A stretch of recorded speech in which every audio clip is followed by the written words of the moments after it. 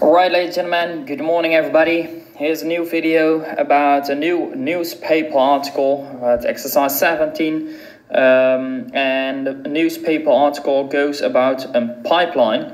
Um, let me just look at the pipeline beneath you find some maybe some uh, uh, difficult words like shore, uh, kust in Dutch uh, and uh, glass fiber, uh, glasvezel.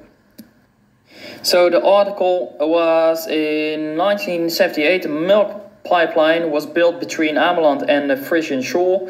Uh, 1200 tubes were used to cross the 50 kilometers distance.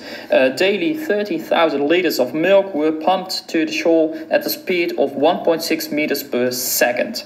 Nowadays, a glass fiber runs through the pipelines. So, a few uh, information like uh, how many tubes there are in total, uh, 1200, the distance, the total distance, um, 30,000 liters of milk were pumped in the shore at the speed of 1.6 meters per second. Yeah, so in the questions, um, you need to do something with those numbers. Let me just look at the first one, exercise A. The question is how long is the tube in meters? Now, what we know is that the total distance was 15 kilometers. And we need to get the answer in meters, so let me just convert 50 kilometers in meters. Then you get 50,000 meters. Yeah, so that's step number one.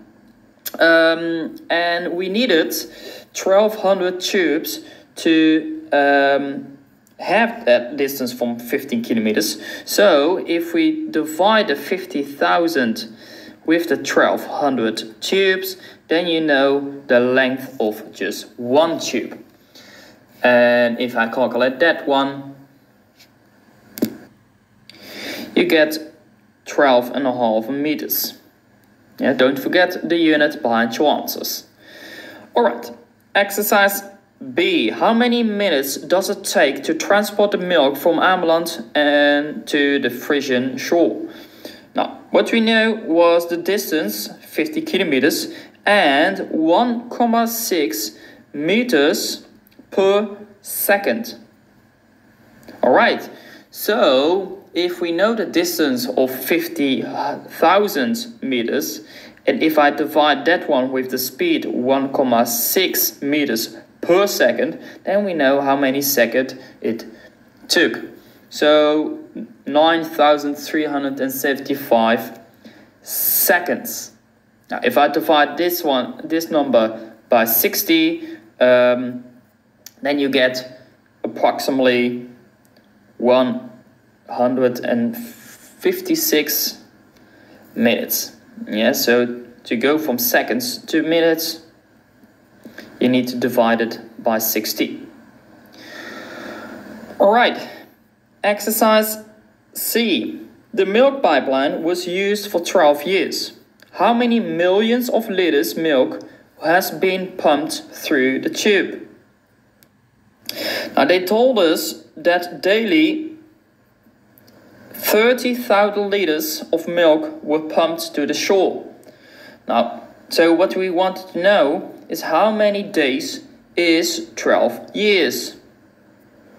That's question number one. Now we know in one year one year has 365 uh, days if we do, don't, do not talk about leap years. Uh, so multiplied by 12, then you know the total days uh, from 12 years. And that's 4,380 days. Alright, so 12 years is exactly the same as 4,380 days. Um, the information what they gave us is that it is 30,000 liters pumped per day. So 4,380 multiplying with the 30,000 liters, then you know how many liters it was in 12 years. And that's 131 million 400,000 liters. Yeah, or you can say 131,4 million liters. Yeah, so that's the answer from exercise um, 17C when you needed to calculate the total liters in 12 years. So that was exercise 17.